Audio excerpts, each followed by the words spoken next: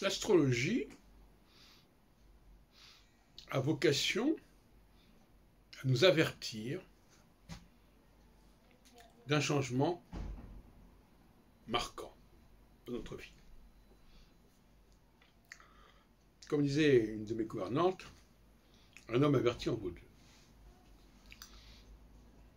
Quand je dis notre vie, c'est une façon de parler, car il s'agit en réalité d'une question qui va être posée à des tas de gens, tout le monde même, et à laquelle chacun va devoir répondre individuellement et personnellement. La diversité de ces réponses fait contrepoids à l'unité et à l'unicité de la question. Parce que la question qui est posée, c'est celle de la mémoire, au sens plein du terme. C'est-à-dire à la fois avoir la mémoire et ne plus avoir la mémoire. Revendiquer le passé ou dépasser, oublier le passé. Se renouveler. Et on peut dire que toute une génération, si on peut dire, est marquée à un moment donné par une problématique ou l'autre. Et l'on sait exactement, bien entendu, astrologiquement, quelle est la problématique qui sera posée à un moment donné.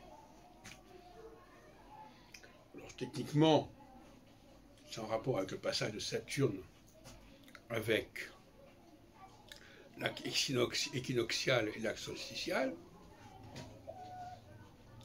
Tous les sept ans, il y a un changement. Et par conséquent, on peut s'y préparer et la société, dans son ensemble, peut s'y préparer. On peut prendre des mesures. C'est là le véritable apport de l'astrologie. Et non seulement ça, mais c'est quelque chose d'essentiel.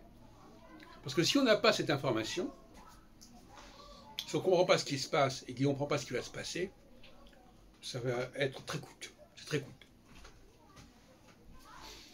Et donc une société qui maîtrise ces questions-là forcément de l'avance et des avantages sur la société qui ne le fait pas, qui ne veut pas le faire.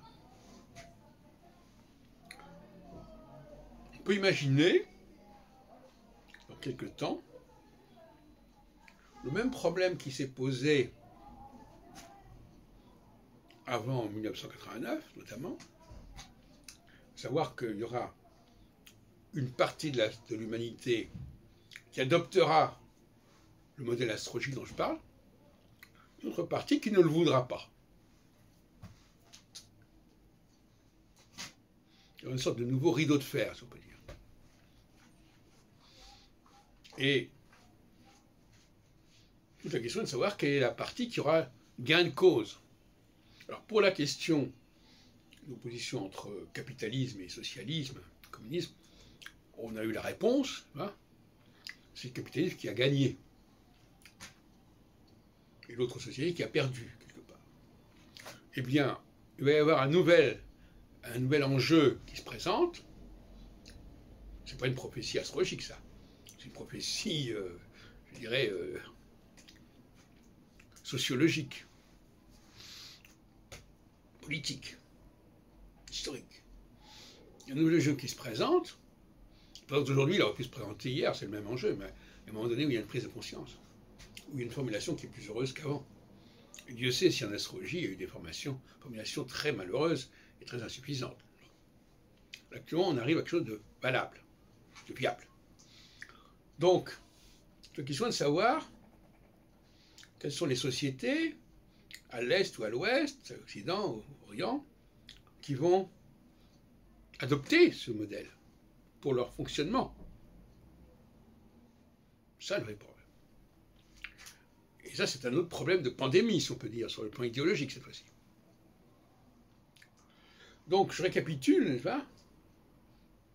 Il faut savoir qu'au bout de sept ans, c'est-à-dire en l'occurrence maintenant, ça serait plutôt 2024-25, donc depuis 7 ans après, 7 ans, ce qui termine une période de 7 ans, eh bien, on va, on va entrer dans une période équinoxiale.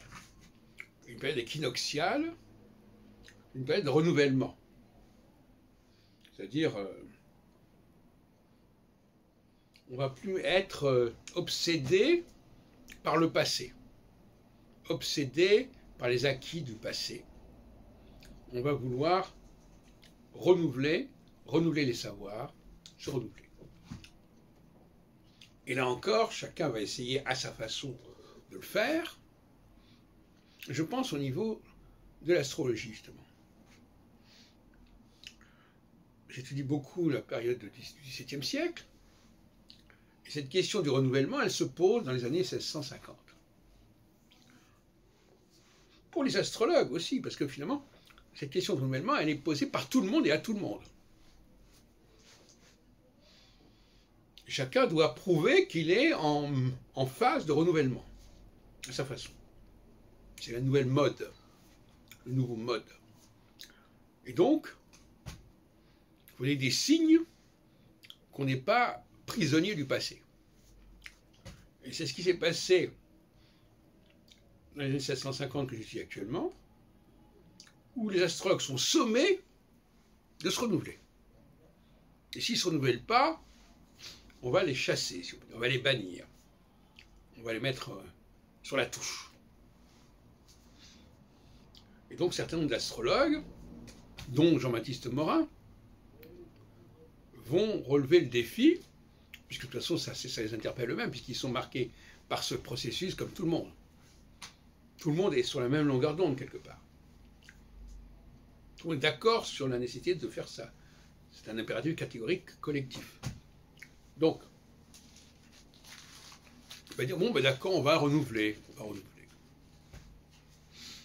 Et euh, il y parvient. Euh, alors, on renouvelle en profondeur, on renouvelle en, en façade.